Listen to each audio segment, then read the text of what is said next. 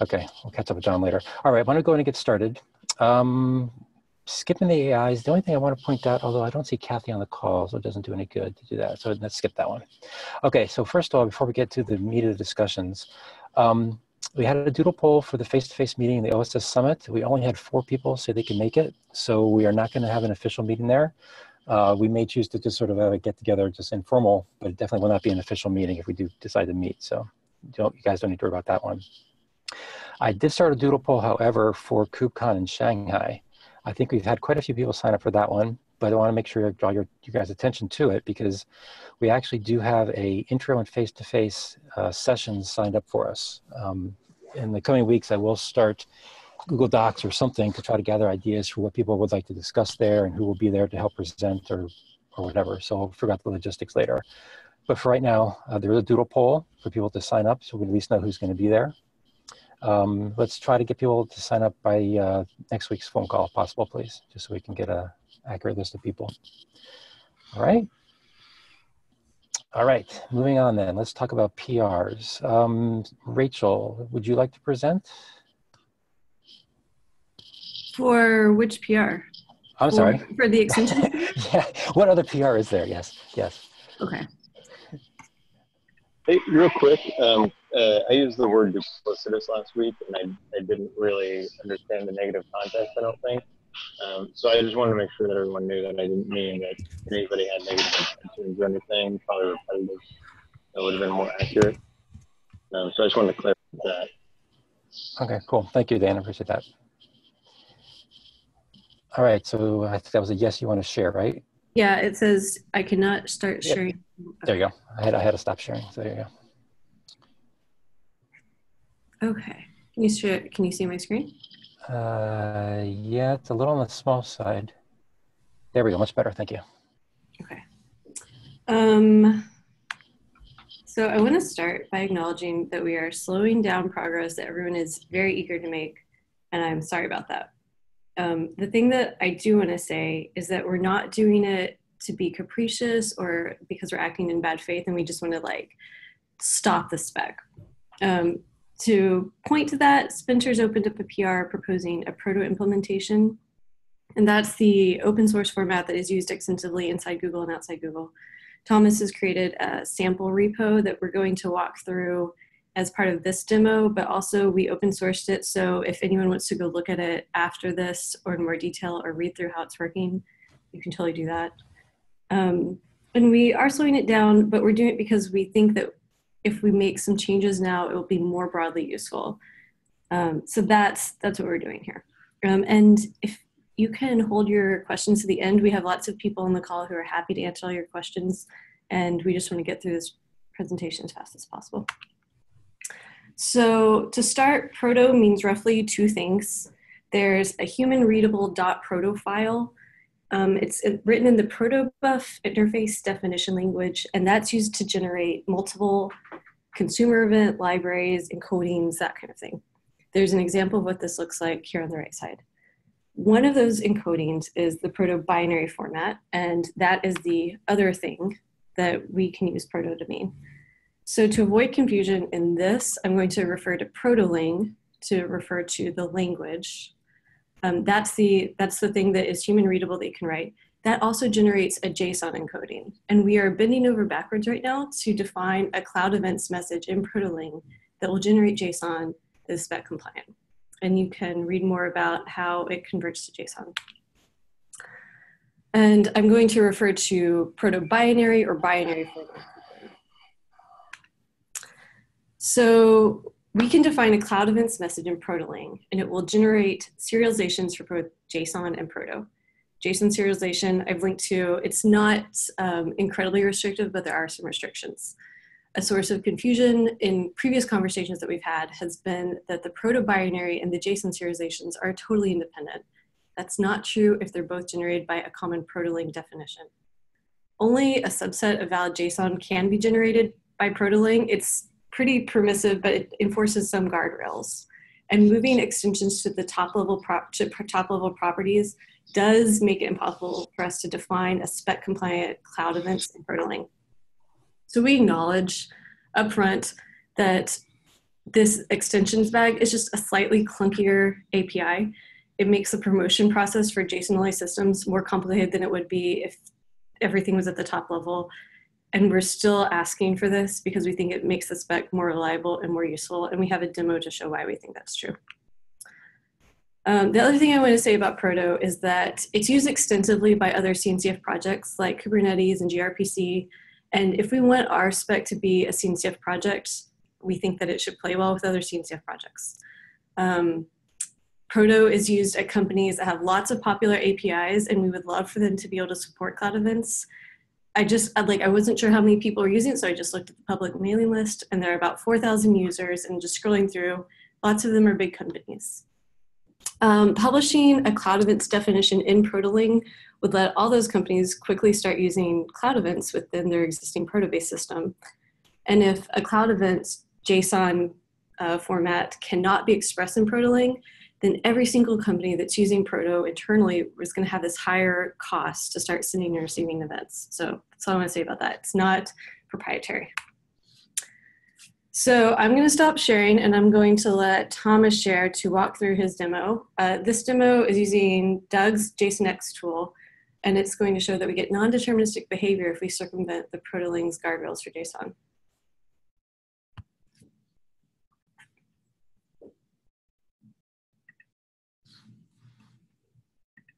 Uh, thank you, Rachel. Uh, so one of the things that I wanted to focus on um, was that I think, uh, to a large extent, the the discussions that we've been doing where we use Proto as an example um, aren't just about Proto. They're just uh, those guardrails, which I think are there for a reason. Uh, so I had a Git repo that I published yesterday um, called "Versioning is Hard." Um, I try to act as three different actors: uh, our working group, a smart library vendor, and a, an application developer. Uh, and I try to do this all on the JSON spec as proposed, um, where it violates some of these kind of guardrails, um, and see what could possibly happen. So if you look at the uh, Git history, um, Thomas, basically. Can you share your screen? Oh, am I not doing that? I'm sorry. I'm being technically inept, which is very embarrassing for presentation. Um, it says share screen. Where am I? Oh, desktop. There we go. I missed one of the dialog boxes. Can everyone see it now? Yep. Yep. Okay, cool. Um, so, anyways, each of these is uh, poking a little bit of fun at our working group. It's all has signed off by. Um, each commit acts as one person.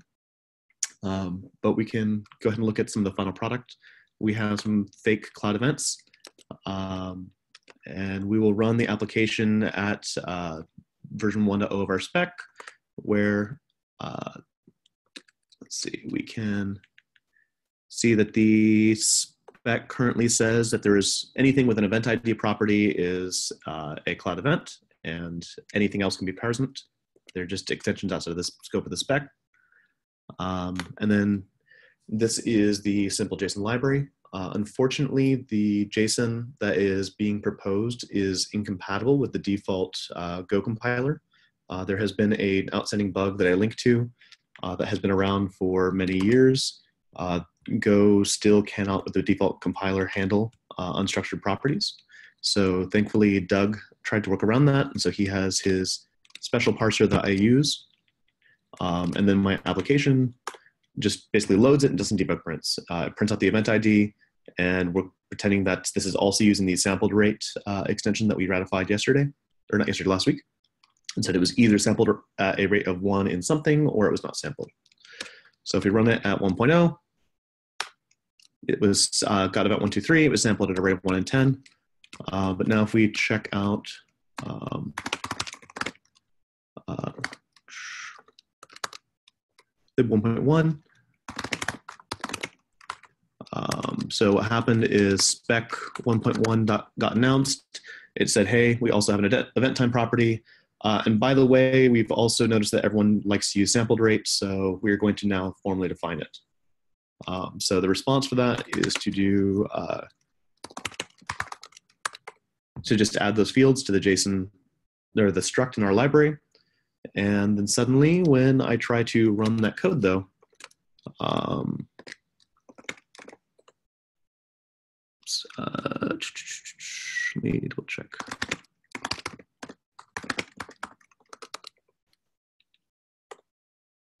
Uh,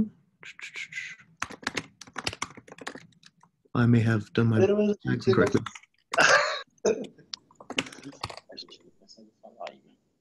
Did you pay homage to the demo gods first? There, there's the problem.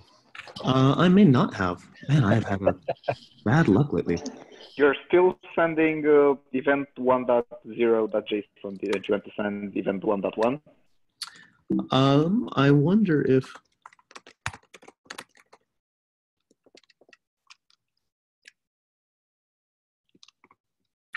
Yeah, your data payload. Oh, that's the point. Is that you shouldn't. This breaks even when you don't uh, change the data payload.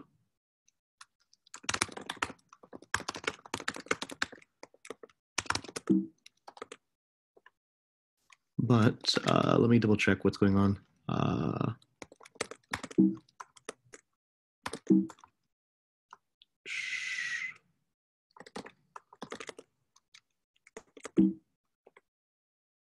oh, for some While you- reason. While you work through that, is it useful if I talk about what we should expect to see happening? I can I can even just edit it on the spot. It seems for some reason my git tags got messed up. I didn't have the change in the struct.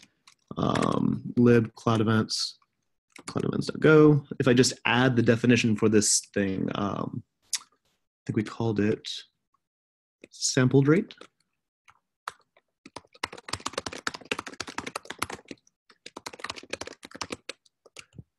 Editing the spec to actually match or editing the library to match the new spec means that if I run this, it now breaks. Uh, my application hasn't changed. My uh, spec changed in what we thought was a forwards compatible way. Um, we used the latest and greatest tools from our own working group members, and there was nothing that could actually be done uh, to avoid breaking this application. So um, whether we actually choose to do this extensions or not, uh, I think my request is that either A, um, we treat extensions separately always, just so it's a very clear idea that it's extension or it's not extension. Uh, or B, at least recognize that when something isn't a well-known extension, if we promote it, um, that there are some formats and some libraries where this is a breaking change, and that we would do it as a breaking change. So I will yield my time.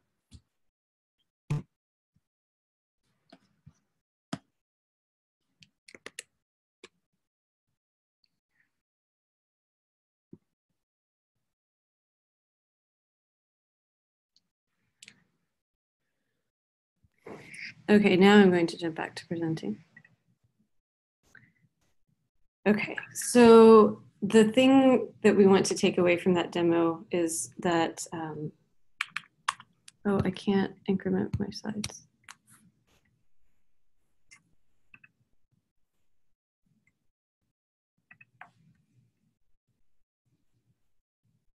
Hold on.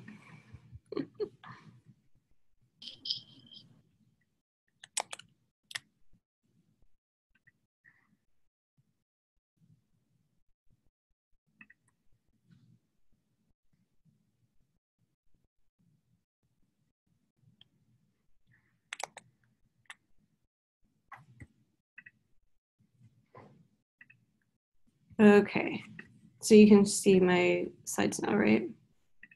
Mm-hmm. Yes, we, yep, you can. Cool. So the thing we want to take away from this is that we need to balance forward compatibility and extensibility in structured data. And we have a proposal for how to do that and that would, that's flexible for all formats. So diving in for a second into forward compatibility, that's about adding new attributes to the spec in future iterations without breaking the existing event consumers. They're still using the old version. Um, in JSON, this is really straightforward because JSON keys are strings. If the keys are uniquely named, there's no risk of collisions. All the values are JSON primitives. And the future iterations of the spec that add new properties are assumed to be non-breaking changes for existing JSON event. Sorry, what do you mean by primitives? Uh, JSON primitives, Yeah. uh, that, that's defined in the spec. So we have a list Okay, that pardon says, me. that's okay. That's okay. Um, I can I can send you a link to it later on. Um, so forward compatibility in proto binary is a little bit different. Um, why should event consume? This is a question that um, we've gotten from a few people, so I want to just address this directly? Why should event consumers using proto-binary not use the unknown fields for extensions? And there are a few reasons.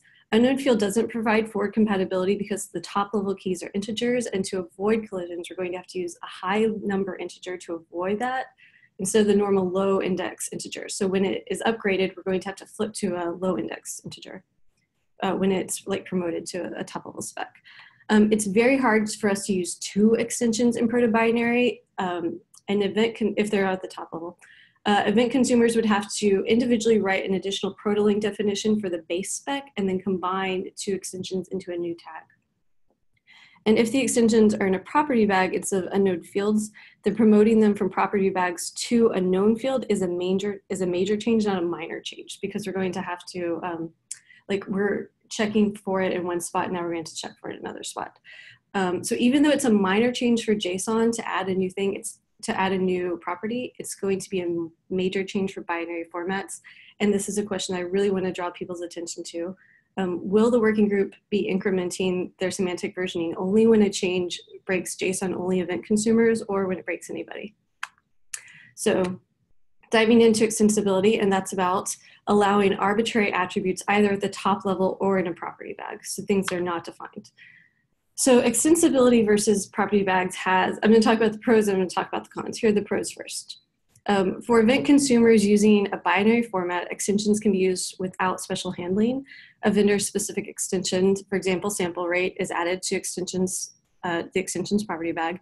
Event consumers can assign extensions to be a struct, and there's a link to how that is defined struct is defined is, is, there's a lot of work that's gone into this to making sure that it can uh, handle arbitrary values and that the conversion between json and proto-binary is smooth so we can take advantage of that and for event consumers that are using a json only format extensions can be used without special handling too so the cons of the property bag this is what I think you're all very familiar with, but I'm going to tell you what you believe anyway. Promoting an extension to a top level attribute is a breaking change for both the binary and the JSON formats. Um, for example, if sample rate is widely used um, and then it gets promoted to be a top level attribute, um, to be backwards compatible, event consumers are going to need to accept uh, the 1.0 events where sample rate's still in the extension bag. And then to support 2.0 events, the consumers are going to start needing to look for sample rate as a top level property. So to avoid the breaking change, that like that's a primary motivation I think most people in this group feel for moving away from the property bag to put all extensions at the top level. So if we use extensibility via top level properties, uh, for JSON only implementations, this is fine as long as they're uniquely named. And the promotion path is absolutely seamless. Event consumers will see no change between the attribute being an extension and being a known attribute. But for proto-ling implementations, um, we can't easily handle top level attributes. So there are two workarounds. The first one is to handcraft the proto-binary adding the known attributes to an integer key top level attribute, and adding unknown properties to a property bag. This is going to require abandoning the built-in conversion between JSON and proto-binary that's provided by Protoling. And special casing that for cloud events is going to be an uphill fight for every system that we want to support this, both inside Google and for everything that's using Protoling. So the second workaround is that event consumers could drop unknown attributes but that is effectively dropping extensibility. So we don't like that. that. So the conclusions and our requests are, um, conclusion one, if the extension bag is removed, the JSON format cannot be expressed by Protoling and Google will be unable to avoid fracturing the spec because we're going to have to duplicate the JSON format and it will differ. And so we're going to break um, into a format that is compatible with Protoling and a format that's compatible with the spec.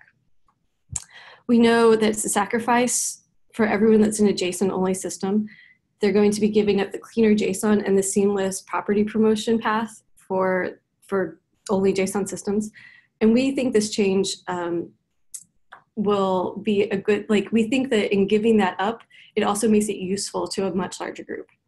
So here's our, here are our requests. Um, we know that if you're not using Protoling, that this is kind like we're asking you to go out on a limb and think about how things will work in other situations that you're not dealing with right now and we ask that you do that um, there's a conflict that we see coming down the road for force compatibility extensibility excuse me extensibility and then the ability to structure your data And so we would like the working group to decide which goals we value and which they're willing to sacrifice. If the working group wants to support or wants to sacrifice support for structs, or if the working group um, can was uh, has a plan to only make breaking changes or to in- increment a major version when it breaks JSON only systems, that's something we would like to know sooner rather than later. So that's it. That's all I have, and we're happy to answer your questions. Okay, so like we did last week, I think it's important to have an ordered discussion here. So um, if you want to raise your hand to say something, put a plus hand into the chat and I'll do my best to notice it. Um, and the only reason I put my hand up if, first is because um, you guys mentioned my tool. So if you can stop sharing for a sec, I want to show one thing. Thank you. Uh, Can I ask a question? Yeah, Kathy, hold, Kathy, hold on just a sec. Let me, let me finish what I was going to say first. Then you can. Then you're next in the queue. Uh, if I can just find my. I think that's it. You guys can see that, right? Yep. Okay. So since uh, Thomas was using my tool, and he, I, if I heard him correctly, I think he made a claim about how when you upgrade from one version of the spec to the next, and you add a new optional property um, that was once an extension uh, it's a breaking change. There's no way around that. And that's technically not true. In fact, in that repo, you can actually see I have an example where I have a person version one with just name, person version two with name and address, with the assumption that for the version one, address was extra, meaning it was just that extra place where extensions go. And so when you take this JSON get, gets parsed, we par I, the sample shows you parsing it into a version one person and a version two person. And you can access it because the toolkit that I'm using, which is the same thing that Thomas was using, my little ext thing, I can actually address, I can actually access address from both structures with the exact same line of code.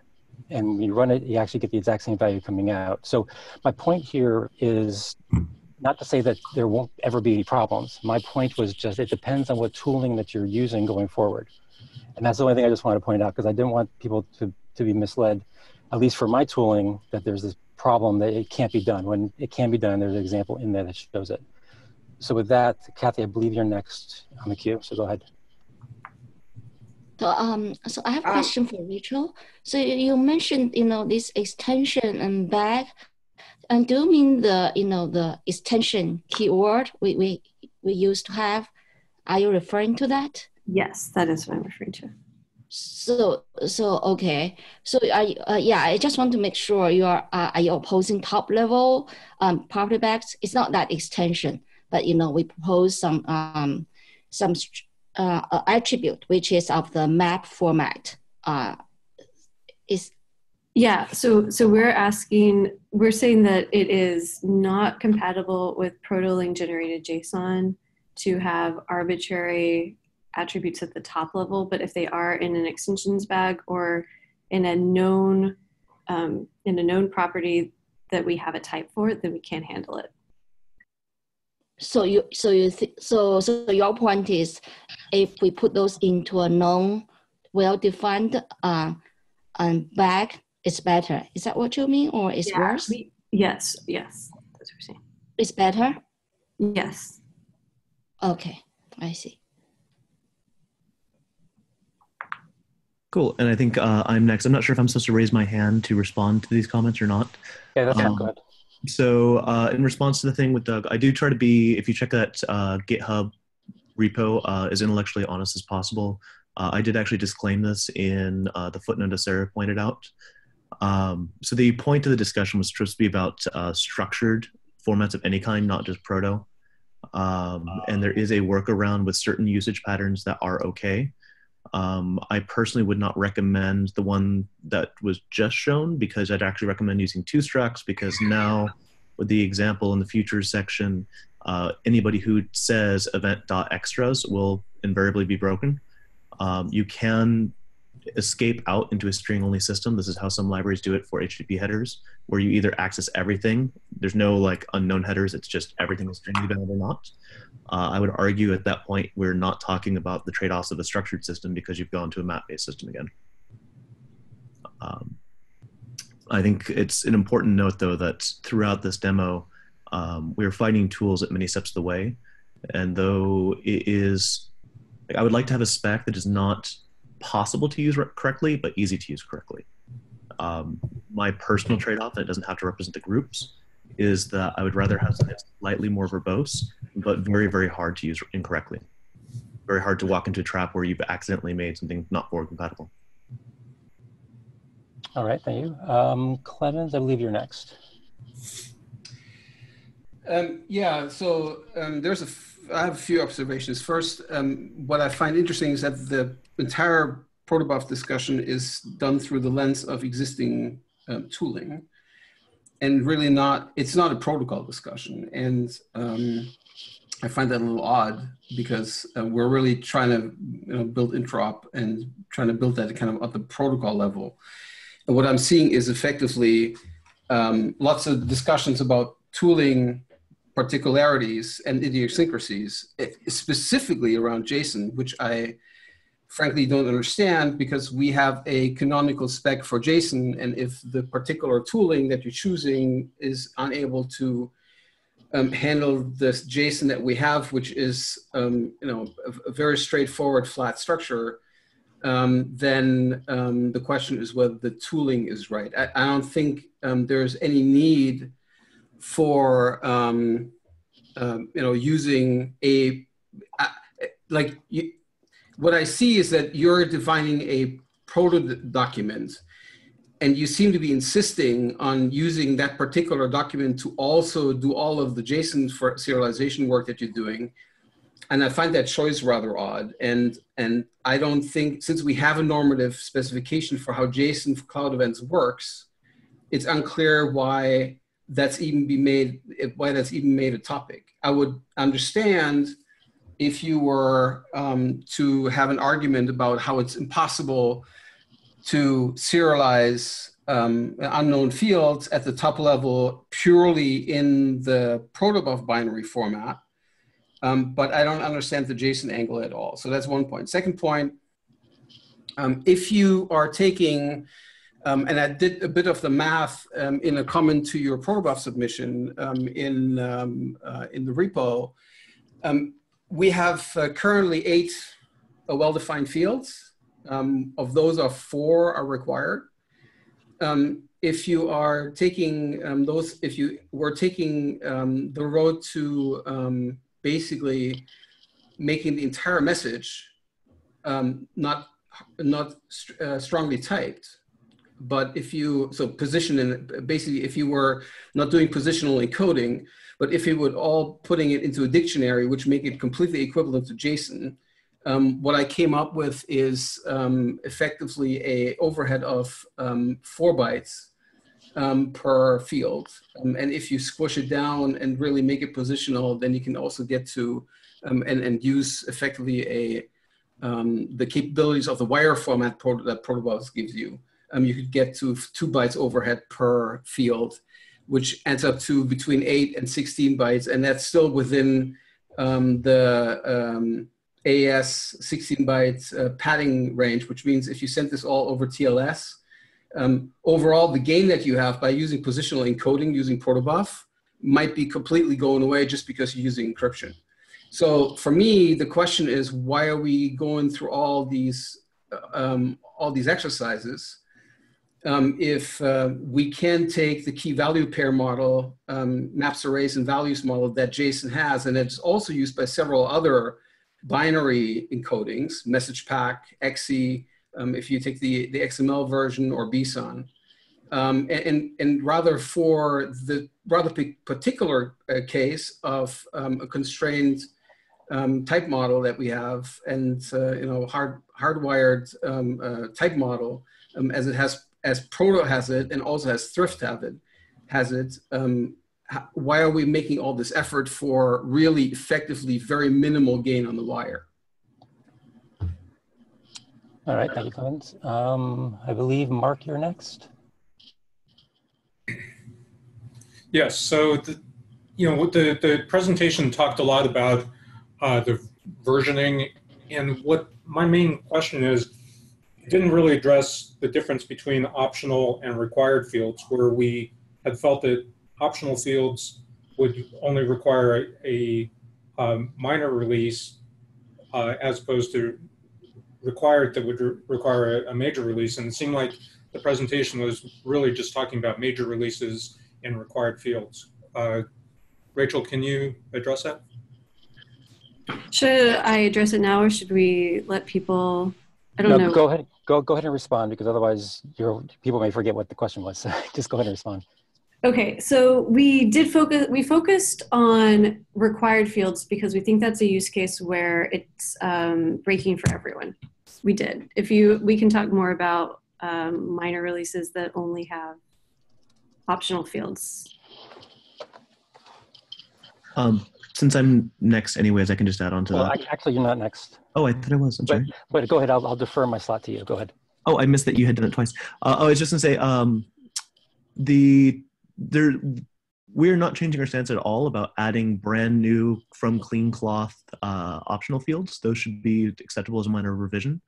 Uh, I would say, for example, if we added something that is already in the well-known extensions list, uh, we are quite aware that this thing does exist and there is usage, um, and that ratifying an extension not just adding a new property that we've never seen before, but ratifying an extension uh, is a breaking change. That was my suggestion. Um, and I think that's why we focus so much on major versions. Uh, Okay. I'll give it back to, to Doug. Okay, thank you. And I'm, I'm speaking now strictly from my point of view, not as someone who's trying to run the meeting. Um, but I did want to point out something that um, when Thomas was talking about my tool, I, I, think you were implying my tool was kind of flattening everything into name value pairs and stuff, and you're not able to use structured processing. That's actually not true. It only does that for unknown properties, not the ones that are well known to the structure itself. Those you can still always access by direct reference to the structured elements. Um, but I guess my question, I have, I have two questions for you guys. One is, um, in the stuff that you guys posted yesterday, it made it sound like you guys were saying the existing JSON that we have in our spec is is not compatible with Proto, and that you guys are going to be requesting changes to our existing JSON. And I'd like clarification whether that's true or not. And my second question is a little bit of question, a little bit of statement. This notion of ratifying extensions is something I, I think we need to almost uh, get clarity on because the spec by definition does not know about extensions, period. Nor do we know about all possible extensions that are out there. So this notion of ratifying an extension being, I'm sorry, the notion of creating a brand new optional level property as, a, as an act that is different from ratifying an extension is just false. They're both the exact same things. The spec doesn't know about extensions. To the spec, everything is a brand new thing, and we can never know for sure what is being used as an extension someplace. So to say that we're going to add something brand new to the spec and therefore we don't have to worry about an existing that existing thing being used as an extension just is not true. Everything could technically be used as an extension. So I'm not sure we can dif differentiate between those two. So I'd like to get an answer to my original question though of will our JSON need to change according to your guys' request? Okay, so it does not as it stands now, but if your PR that merges uh, extensions, so extensions can become top level properties, then it is not compliant with Proto. That's why this is coming to a head now. Okay, because the PR that's out there right now for your proto stuff says it's incompatible. Uh, says, says that what's incompatible. It says the JSON from the spec is incompatible with the JSON generated by proto. I think the the that may have been partially misspe- misspeaking on that the um, we've been very worried obviously about the extensions bag. Uh, one case where we would actually still be um, not able to be fully compliant yet, and I've, I've been trying to pull in the core proto people, is uh, data. Uh, the fact that data is so variable in that, like, if it is JSON inside a JSON spec, it has one type of encoding, and if it's bytes, for example, it's a byte string. Um, the we currently got around it by saying if it's JSON-like, we call it data, and then we had to say something like bytes data for raw bytes. Um, those are the two places I've seen. Uh, effectively, the three things that we can't do uh, in a proto-compatible JSON uh, are distinguish between a zero value and empty value. We can't have um, like multiple indeterminate top-level fields from like not just the main hierarchy. If, it, if it's just the working group that releases a new version, there's version one and version 1.1, and they were forwards and reverse compatible. Uh, as Rachel covered, if there's 20 people adding their extensions, uh, it's very hard to coordinate with Proto. Um, and then the uh, third thing was just that mutable shape idea, like something is either A or B. So we had to say that um, data is JSON like when it is called data and it is binary when it's called bytes data. So I'm only, I'm only speaking up because no one else is in the queue. but that sounds like what you're implying is you're asking us to defer our JSON serialization format to whatever Proto does. Not I, not exactly. I like I would I don't think that that's exact. Sorry. Can I I'll, can I answer first, Thomas? yeah, please. Okay. Um, I like I would characterize it as um, writing the JSON that we want and then trying to stay within boundaries that exist because we have found bugs in the past because of them. Yeah, I I've been trying to take the JSON spec that the committee has come up with and treat that as gospel and reverse engineering reporting back issues um, I don't. Obviously, my life would be easier if we stayed in those confinements. Um, I don't. I know that that's um, to do that just because it makes people's life easier is not appropriate in the group. Um, but I think to some extent it may be appropriate to say why were those decisions made by another group and are those lessons that we can learn from. Okay, Clemens, I think your hand's uh, up. I'll just observe that I find that trying to change um, the specification, the, an open protocol specification um, to the particular limitations of a proprietary serialization stack um, and, and make demands out of that um, in an open standards forum is highly inappropriate. I appreciate the moral high ground that you're trying to take. Um, no, there's no, no, no, no, no. Don't. It is not a proprietary let me, format. very clear. Let me be very clear, right? We have principles for what's eligible and what's not um, in this working group. Protobuf, your entire stack, is might be used fairly widely, but your stack is Google proprietary. It is not under the umbrella of an open source foundation, and um, you can change it. You control it as much as you like, and and the and Google does change it as it likes because we got Proto two and you got Proto three, and you basically control the destiny of that stack with anybody influencing it. So as such, it is entirely proprietary. There is no moral. There, that's no moral argument here. I'm making an argument for, you know, principles of how open standards are being created so and you, what you're and what you're trying to do right now is to go and say we're Google, we're we're great, we're big, we have to stack, and now this group uh, needs to bend its formats to the will of the particular artifact that we're using, without even looking at um, the reality of the wire and the focus on what you really need to bring ought to bring to the table, and that's your binary format. The JSON format that we have here is 100% orthogonal to the, your, your tooling because you can use, like everybody else, an, just another library for do, doing JSON parsing. Nobody's forcing you to use your library. Your library is really good for creating the binary format,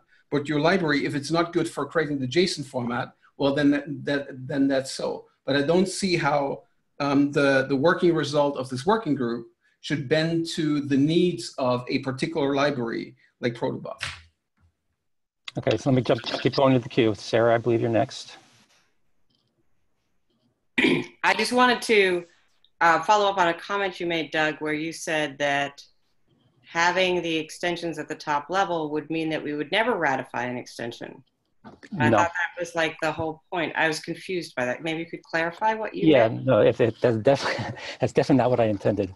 My point was that there was a distinction being made between us adding a new property in version 1.1 and that that thing that's being added being completely brand new versus it being a known extension that's being promoted. And my point was that from a spec perspective, there is no differentiation the spec knows about no extensions, period. All we could do is add new optional properties in version 1.1. whether it's being used or not is unknown to us and it, it doesn't influence anything in my mind. That's all I was Yeah. trying to say. Um, I think you're right. Like, it's just, I mean, in terms of, I mean, you might use a implementation in order to make a case for it being pr- promoted in the spec, right? Being ratified in the spec. But yes, it shouldn't influence our decision.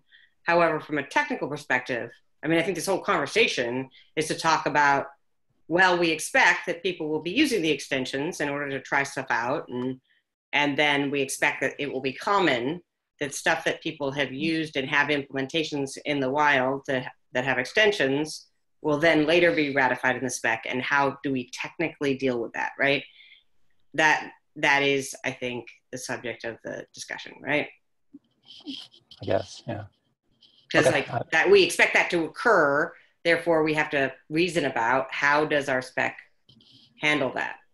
And that I, I you know and so that w- we need to think through like either we need to we could go the route of saying this is a json only spec and we don't support any other things and we're not interested in binary protocols right?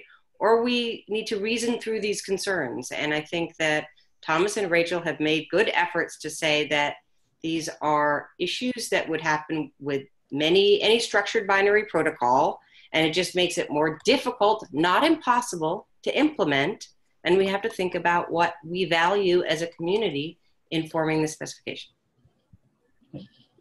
Okay, thank you. I believe I'm next. Um, so the, the net effect, though, of trying to make a distinction, like like what was being proposed here, of known extensions being promoted, and is that you basically have to treat every single extension.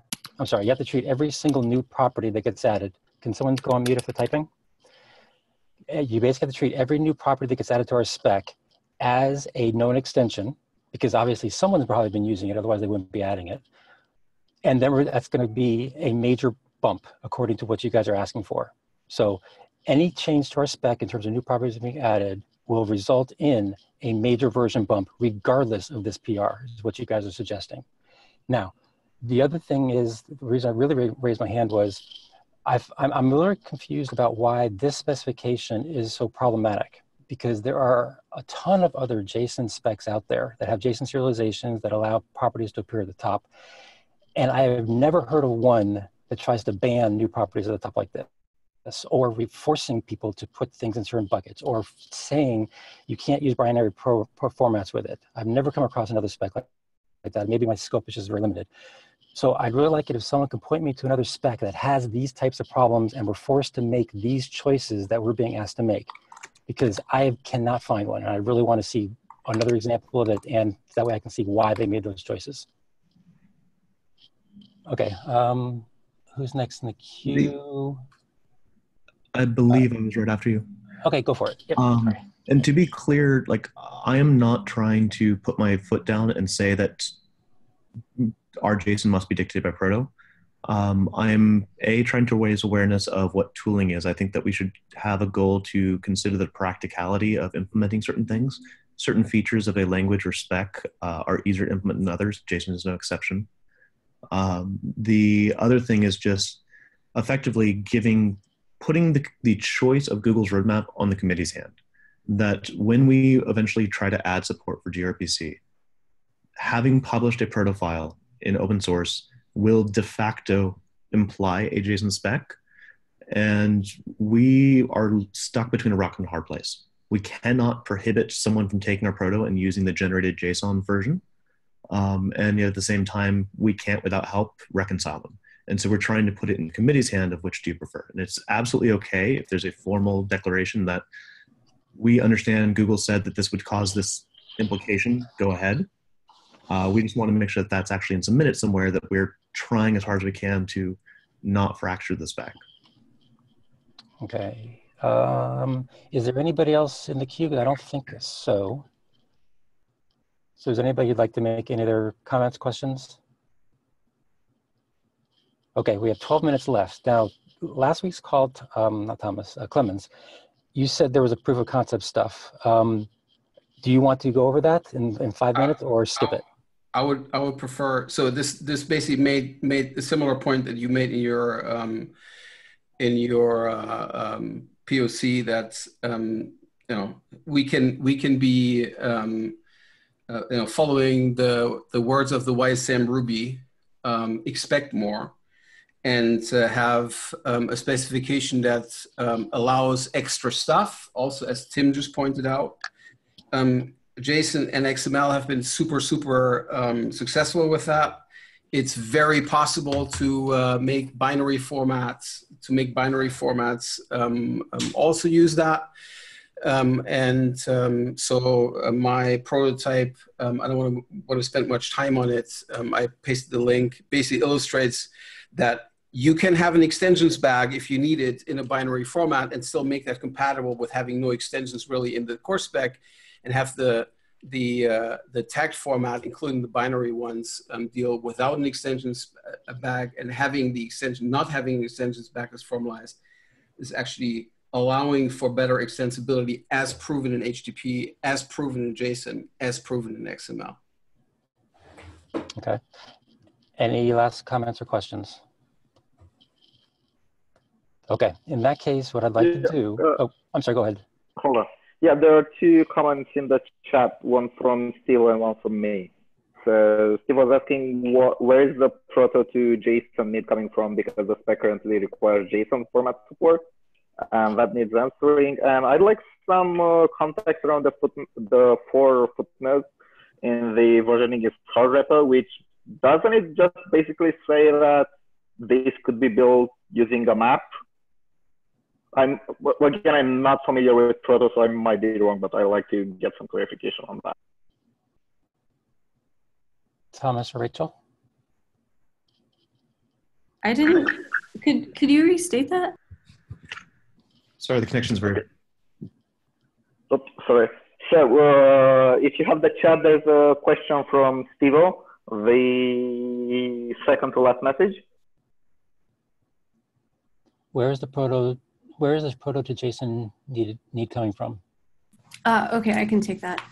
Um, so if we define a message format in Proto-Lang, then it will let us take incoming JSON format uh, cloud events, handle that easily, uh, and then convert it to proto-binary. Um, and this is not just like an internal need, this is a thing that we think is useful. Does that, does that capture what you were looking for? Yes, thanks. Steve-O? Okay, and Vlad, so- you may want to elaborate on your question then.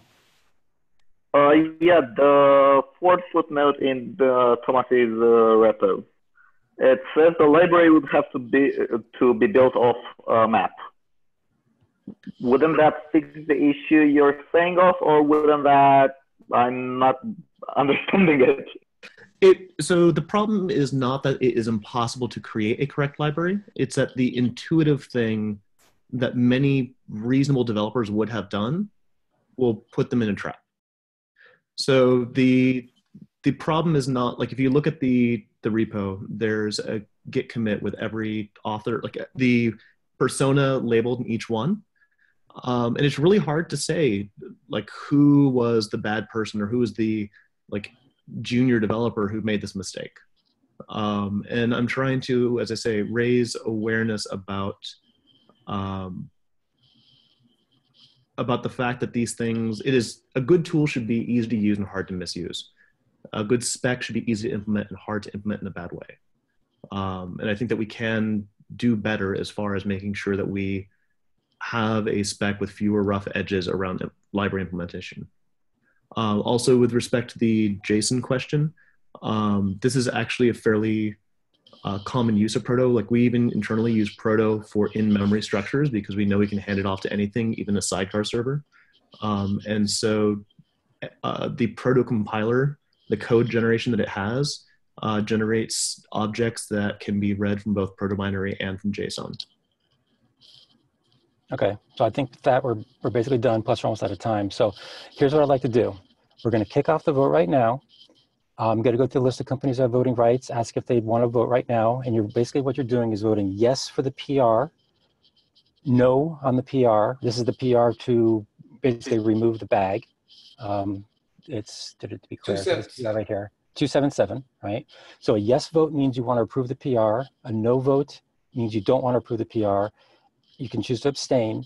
If you are either not on the call, obviously, um, or you would choose to, def- to defer your vote until later, um, just say so, that's fine.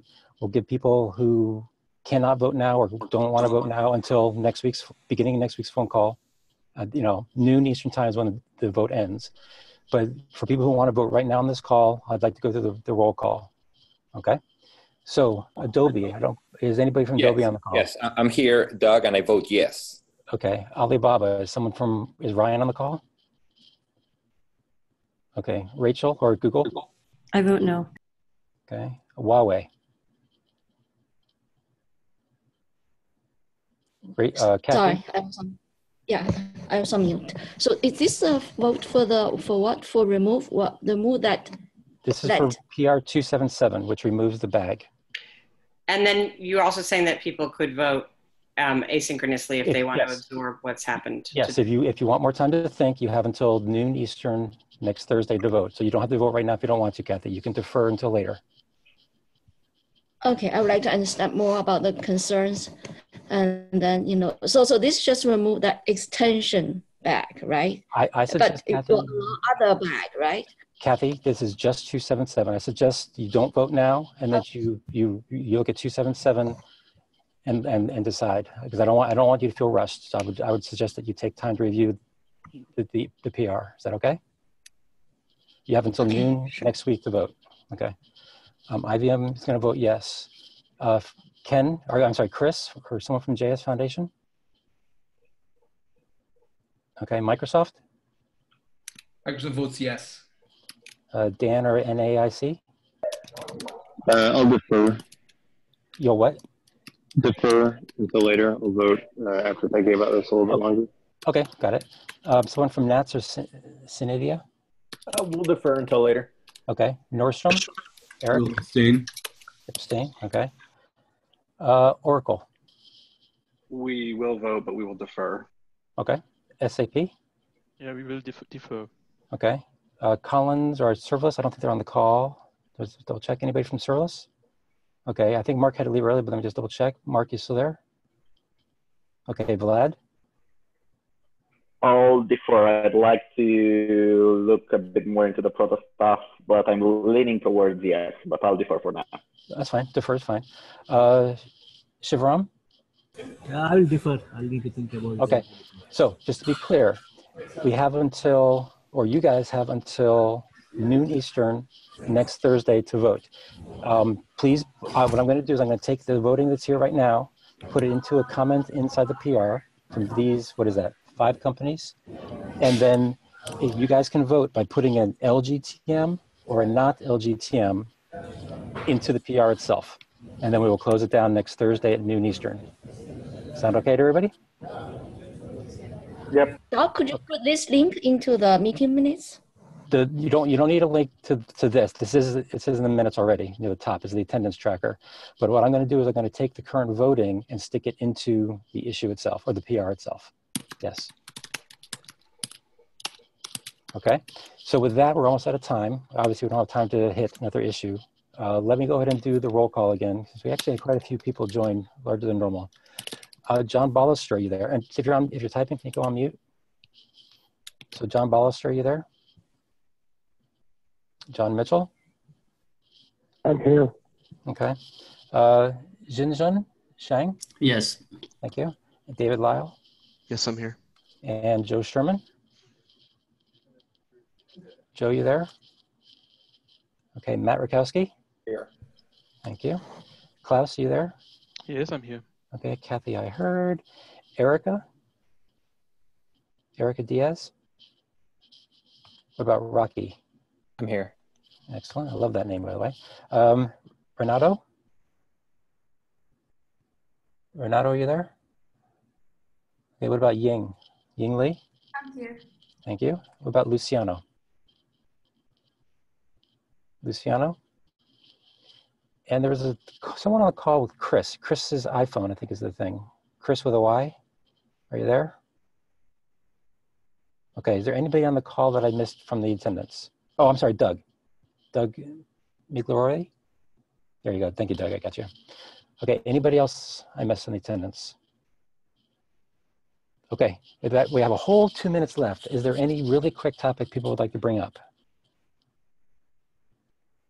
Okay, in that case, I have one thing. Kathy, just a reminder, you have a P, you have an AI to open a PR, to upload the workflow doc to the serverless working group repo?